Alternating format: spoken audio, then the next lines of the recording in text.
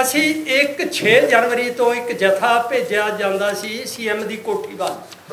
ਉਹਨੂੰ ਧਿਆਨ ਦੇਣ ਵਾਸਤੇ ਬਈ ਇਹ ਇੰਨੇ ਲੰਮੇ ਸਮਾਂ ਹੋ ਗਿਆ ਤੇ ਉਹਨਾਂ ਨੂੰ ਕੋਰਟ 'ਚ ਪੇਸ਼ ਨਹੀਂ ਕੀਤਾ ਜਾ ਰਿਹਾ। ਸੋ ਉਹਨਾਂ ਨੇ 26 ਤਰੀਕ ਨੂੰ ਸਾਡੇ ਨੁਮਾਇੰਦੇ ਇਹ ਭਰੋਸਾ ਦਿਖਾਇਆ, ਲਿਖਤੀ ਭਰੋਸਾ ਹੋਇਆ ਉਹ ਸਰਕਾਰ ਵੱਲੋਂ ਕਿ ਜਿਹੜਾ ਜਥਾ ਤੁਸੀਂ ਕੌਮੀ ਇਨਸਾਫ ਮੋਰਚੇ ਵੱਲੋਂ ਭੇਜ ਰਹੇ ਹੈ ਉਹ ਅੱਜ ਤੁਸੀਂ ਬੰਦ ਕਰ ਦਿਓ। ਅਸੀਂ ਤੁਹਾਨੂੰ ਭਰੋਸਾ ਦਿਵਾਉਂਦੇ ਆ ਵੀ 31 ਮਾਰਚ ਤੋਂ ਪਹਿਲਾਂ ਪਹਿਲਾਂ ਉਹਨਾਂ ਨੂੰ ਕੋਰਟ 'ਚ ਪੇਸ਼ ਕਰਕੇ ਪੰਜਾਬ ਦੀ ਜੇਲ੍ਹ ਵਿੱਚ ਤਬਦੀਲ ਕੀਤਾ ਜਾਵੇਗਾ।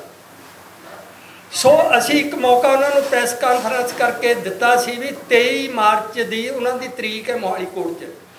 ਤੁਹਾਡੇ ਵਾਸਤੇ ਬਹੁਤ ਮੌਕਾ ਵਧੀਆ ਵੀ ਤੁਸੀਂ ਪੇਸ਼ ਕਰੋ ਉਸ ਦਿਨ। ਪਰ ਨਾ ਤਾਂ ਉਹਨਾਂ ਨੂੰ 23 ਮਾਰਚ ਨੂੰ ਪੇਸ਼ ਕੀਤਾ ਗਿਆ। ਨਾ ਹੀ ਅੱਜ ਤੱਕ ਅਜੇ ਸਾਨੂੰ ਭਰੋਸਾ ਵੀ ਉਸ ਨੂੰ ਬੂਰ ਪਵੇ। ਜਿਨ੍ਹਾਂ ਪੰਜ ਸਿੰਘਾਂ ਦੀ ਰਿਹਾਈ ਦਾ ਪ੍ਰੋਸੈਸ ਉਹਨਾਂ ਨੇ ਸ਼ੁਰੂ ਕਰਨ ਦੀ ਗੱਲ ਕਰੀ ਸੀ, ਅੱਜ ਤੱਕ ਸਰਕਾਰ ਵੱਲੋਂ ਸਾਨੂੰ ਕੋਈ ਹਾਂ ਪੱਖੀ ਹੰਗਾਰਾ ਨਹੀਂ ਮਿਲਿਆ। ਸੋ ਅਸੀਂ ਇਹਨਾਂ ਮੁੱਦਿਆਂ ਵੱਲ ਇੰਟਰਨੈਸ਼ਨਲ ਲੈਵਲ ਤੇ ਆਪਣੀ ਆਵਾਜ਼ ਪਹੁੰਚਾਉਣ ਲਈ ਇੱਕ ਤਰੀਕ ਨੂੰ ਜਿਹੜਾ ਆਈਪੀਐਲ ਦਾ ਮੈਚ ਮੋਹਾਲੀ ਵਿੱਚ ਹੋ ਰਿਹਾ। ਜਿਹੜੀ ਸ਼ੁਰੂਆਤ 3 ਵਜੇ ਹੋਣੀ ਹੈ। ਅਸੀਂ ਉਸ ਦਿਨ ਦੇਸ਼ ਵਿਦੇਸ਼ ਦੀਆਂ ਸੰਗਤਾਂ ਦਾ ਧਿਆਨ ਇਸ ਪਾਸੇ ਲਿਆਉਣ ਲਈ ਇੱਕ ਰੋਸ ਪ੍ਰਦਰਸ਼ਨ ਕੌਮੀ ਇਨਸਾਫ ਮੋਰਚੇ ਵੱਲੋਂ ਕੀਤਾ ਜਾਵੇਗਾ। ਅਸੀਂ ਉਸ ਸਟੇਡੀਅਮ ਵੱਲ ਚਾਲੇ ਪਾਣੇ ਆ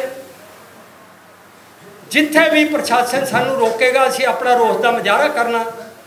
ਸੋ ਜਿੱਥੇ ਅਸੀਂ ਰੋਸ ਦਾ ਮੁਜ਼ਾਹਰਾ ਕਰਨਾ, ਉੱਥੇ ਅਸੀਂ ਸੰਗਤਾਂ ਨੂੰ ਅਪੀਲ ਵੀ ਕਰਦੇ ਹਾਂ ਵੀ ਆਪਣੀ ਆਵਾਜ਼ ਨੂੰ ਦੇਸ਼ ਵਿਦੇਸ਼ ਤੱਕ ਪਹੁੰਚਾਉਣ ਲਈ ਉਸ ਦਿਨ ਬਹੀਰਾਂ ਘੱਤ ਕੇ ਕੌਮੀ ਇਨਸਾਫ ਮੋਰਚੇ ਵਿੱਚ ਪਹੁੰਚਣ, ਤਾਂ ਕਿ ਅਸੀਂ ਸਰਕਾਰਾਂ ਤੋਂ ਆਪਣੇ ਹੱਕ ਲੈ ਸਕੀਏ।